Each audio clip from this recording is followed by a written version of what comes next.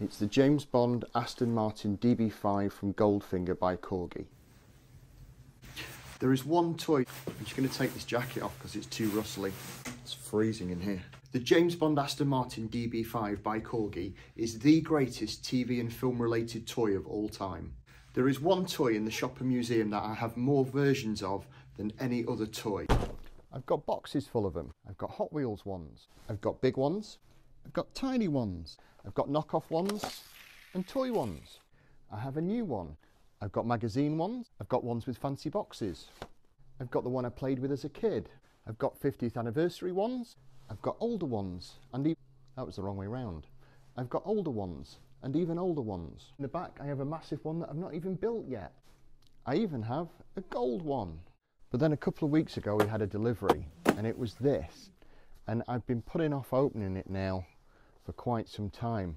And I'm not really sure why. And I think because the original is such a classic, because it is such a brilliant toy, I don't want this to be rubbish and not just a reissue of one of the ones I showed you earlier. The thing is, I can't put off opening it any longer. But if it's not as good as that car, then I'm going to be devastated. So let's take a look. Please be good, please be good, please be good, please be good. Hang on a second, that's a traffic warden. right, now I can, I didn't get a ticket. Right, now finally I can see if Corgi have done at least a half decent job of remaking the best TV and film related toy of all time. It is, it absolutely is. And I'll prove it in the next video, I promise you.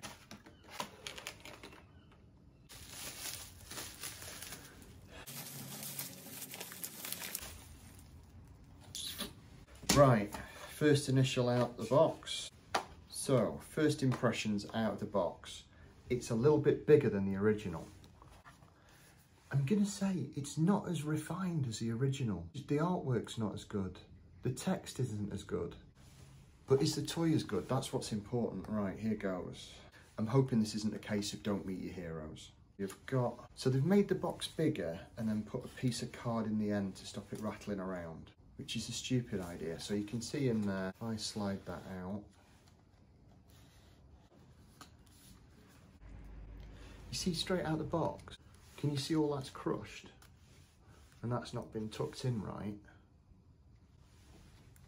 And it's not, it's not fixed at the back. It's not great that, is it? I tell you what, I don't know if you can focus on that, I don't think the wheels are as nice. And these are shiny, but those are really old. The paintwork's great on it though. Now then, in the old one, in here, in this bit that I've lost, well, it's upstairs somewhere, I don't know. We don't put them out with the toys because they tend to go like that and they don't look great on display and you have to bend them, which we don't like. So I've got it somewhere anyway. So I'm just going to open that up.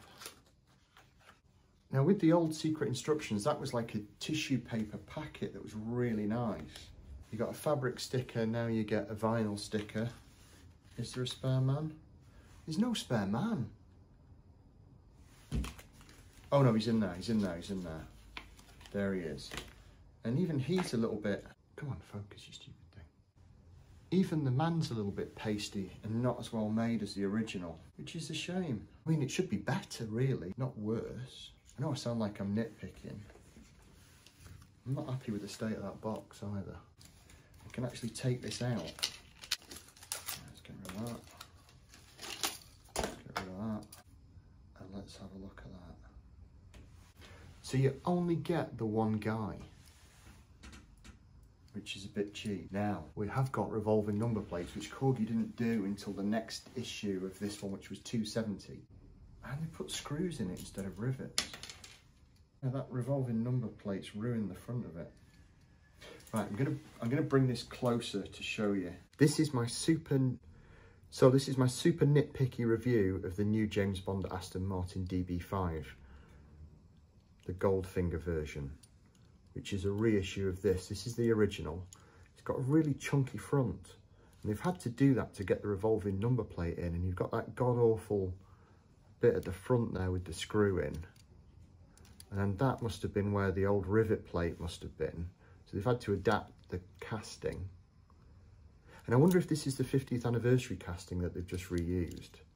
It's completely, it's bigger than that one. It's a lot bigger. The paintwork is nice, but it's not the same, it's not gold. It's kind of a weird mustard. Let's do the, yeah, that doesn't work. That works. They work. So why doesn't, oh, right, okay, we've got it to work. So, I mean, that's nice and shiny, whereas the old one was just a piece of plain metal. But I think, again, I think that one looks better. Why have they not done it an exact replica? Why have they not done an exact copy? And I know this isn't an exact copy because, and this is going to sound really nerdy, this isn't a DB5. And I'll explain that in the next video. But it only has, if you look there, there's a tiny mark, which, there. Shut that door. Now, you can see there's a tiny mark there, which is the petrol flap. And um, the DB5 had two petrol tanks,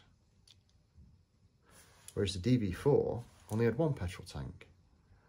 So this is not an accurate remake. Well, it's not because we put revolving number plates on, but I do quite like that as a touch. I think the wheels are terrible compared to the old ones, even though they're shiny. Those are spoke, there's a lot more detail in them. The little man's crap compared to the original man. The paint colour's wrong. The front's probably right, actually. The front's probably more accurate. The back is too.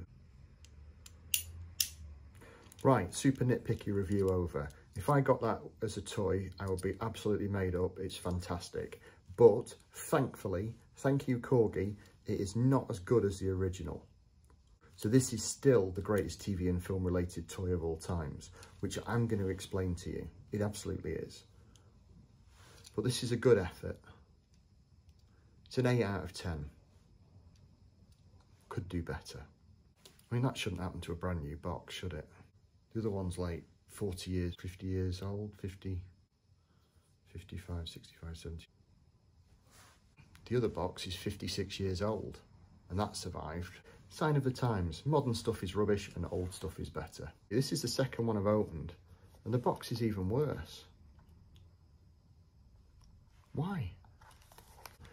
It's coming away here, which I'm not going to force, but it's ripping it just not good enough. I mean, the packaging on the new No Time to Die cars was fantastic. Why is this so rubbish? And why doesn't the model fit in the box? It's too big. Right, I'm going to stop complaining. This is a brilliant toy, go and buy it.